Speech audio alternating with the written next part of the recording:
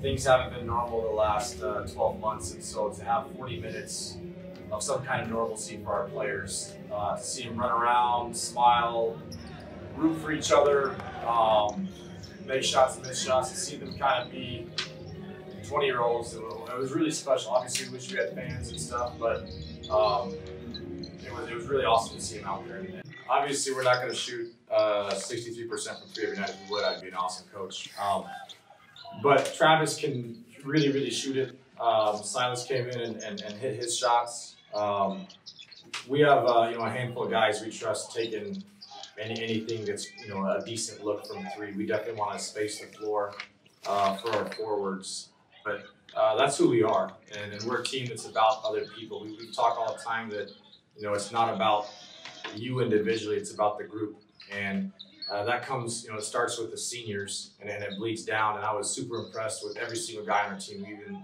you know, our red shirts who, who, who didn't play but who brought a ton of noise. And so uh, that shows a lot about the character and the testament. Obviously, it's easier to bring a lot of noise when you're up, but um, I love this. It's an awesome group of guys that really care about each other and care about seeing the guy next to them be successful.